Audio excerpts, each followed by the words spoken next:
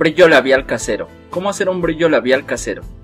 La belleza es un reflejo de una buena salud, pero los productos químicos que contienen los cosméticos a veces pueden opacar esta.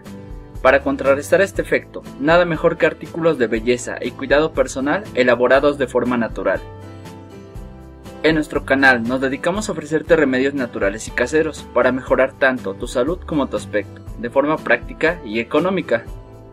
En el video de hoy te enseñaremos a preparar un par de brillos labiales utilizando los ingredientes que tienes en tu cocina.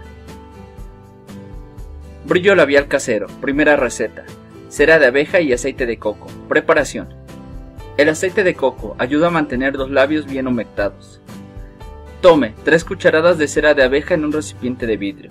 Agregue 3 cuartos de taza de aceite de coco. A continuación, agregue dos tazas de agua en un segundo recipiente y caliéntelo. Una vez que el agua esté caliente, coloque el recipiente de vidrio en el segundo recipiente. Remueva mientras la mezcla se funde. Ahora agregue dos cucharaditas de aceite de almendras. Mezcle bien y retire del fuego. A continuación, añada alrededor de 15 gotas de aceite esencial de rosa. Mezcle bien y deje que se enfríe. Ahora, solo deposite la mezcla en un recipiente apropiado para su uso. Brillo labial casero, segunda receta. Cera de abeja y manteca de cacao. Preparación. La cera dará el brillo deseado y la manteca de cacao le dará color y sabor a sus labios.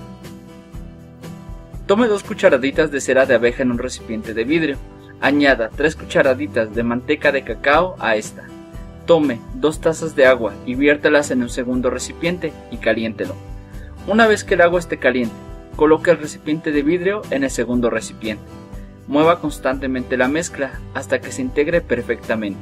Cuando se funda, añada media cucharadita de aceite de ricino en ella. También agregue media cucharadita de aceite de almendras. También añada dos gotas de aceite esencial de menta. Mezcle bien todo esto y retire el recipiente del segundo recipiente.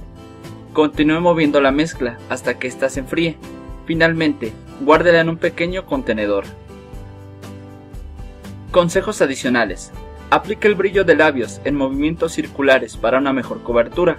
El brillo no debe hacer manchas blancas en las esquinas de la boca.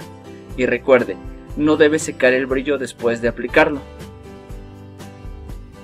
Aviso importante, la información que contiene este video es de carácter informativo y en ningún caso puede sustituir el consejo, diagnóstico o tratamiento médico. Espero que esta información te haya sido de gran ayuda. Si es así, te invito a que le des un me gusta y te suscribas a nuestro canal para recibir más novedades sobre remedios caseros y tratamientos naturales.